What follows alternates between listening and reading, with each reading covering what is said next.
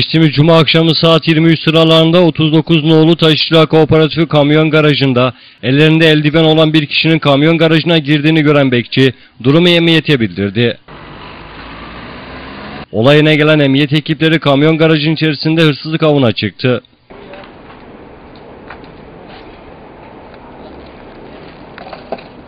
Garajın etrafını kuşatan kamyon dorsalarına kadar didik didik inceleyen ekipler hırsızlık avında eli boş döndüler. Sen kimsin? Sen kimsin? Bekçi. Aa, Yakıyorlar ortalığı, sen bekçisin. Nasıl bekçisin ya? Bekçisin ya. Henüz ne çalındığı tespit edilemeyen olayı gerçekleştirilen şahıs ekiplerce aranıyor.